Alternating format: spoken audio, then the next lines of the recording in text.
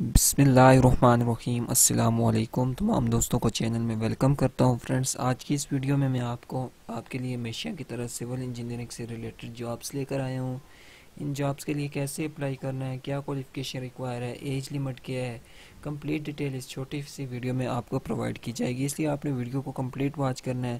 اور یار، جلدی سے ابھی سے ویڈیو کو لائک کر دیں اور اگر آپ فرسٹ ٹائم میری ویڈیو کو واچ کر رہے ہیں تو چینل کو ضرور سبسکرائب کریں تاکہ آپ کو سول انجینئرنگ سے ریلیٹڈ انفارمیشن ملتی رہے۔ تو سب سے پہلے ہم ایڈیٹائزمنٹ کو وزٹ کر لیتے ہیں۔ یہ ایڈیٹائزمنٹ میرے سامنے اوپن ہے۔ اس ایڈیٹائزمنٹ کو ہم تھوڑا زوم کر کے چیک کر لیتے ہیں۔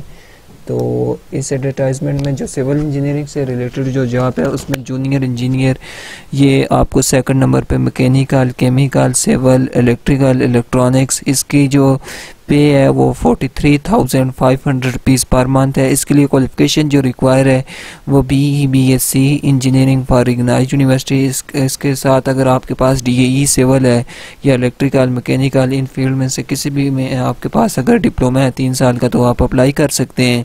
ایج جو ہے اس کے لیے اٹھارہ سے اٹھتیس سال ہے اور جو میل اس کے لیے جو سیٹوں کی تعداد ہے، وہ آزاد جموں اینڈ کشمیر کے لیے گیارہ، گلگت بلتستان کے لیے گیارہ، بلوچستان کے لیے تھرٹی نائن پنجاب کے لیے ففٹی ون، سندھ کے لیے تھرٹی اور کے پی کے کے لیے تھرٹی سکس سیٹیں ہیں اور کسی بھی قسم کا ایکسپیرینس ریکوائر نہیں ہے۔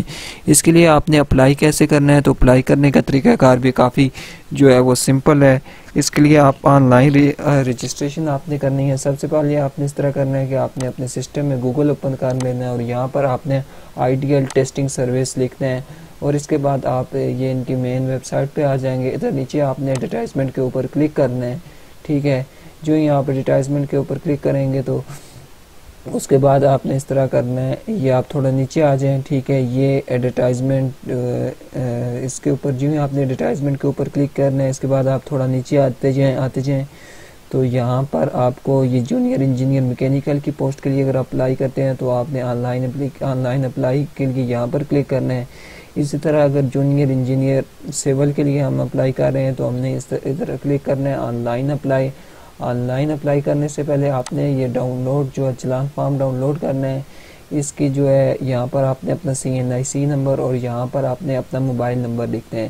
جب آپ چلان فارم جو ہے وہ ڈاؤن لوڈ کر دیں گے تو آپ نے بینک میں جا کر فیس جمع کروانی ہے۔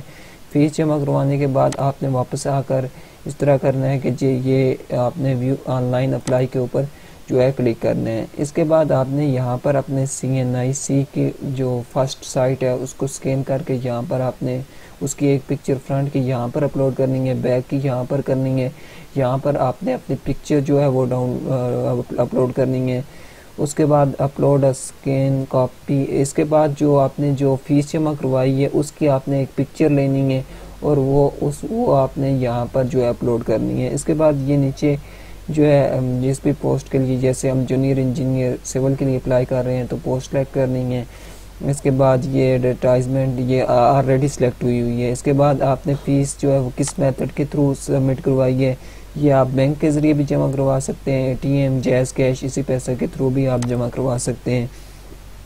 فورتھ نمبر پہ آپ نے جتنی بھی فیس جمع کروائی ہے، وہ آپ نے لکھنی ہے۔ اس کے بعد یہاں پر آپ نے جس ڈیٹ کو فیس جمع کروائی ہے، وہ آپ نے لکھنی ہے، یہاں پر آپ نے اپنا نام، یہاں پر آپ نے اپنا شناختی کارڈ نمبر اور یہاں پر آپ نے جو امیدوار کی شناختی کارڈ کی آخری تاریخ یعنی یہ جو شناختی کارڈ کے بیک سائڈ پہ لاسٹ ڈیٹ طریقے جس ڈیٹ کو آپ کا شناختی کارڈ ختم ہوتا ہے، وہ ڈیٹ آپ نے یہاں پر لکھنی ہے۔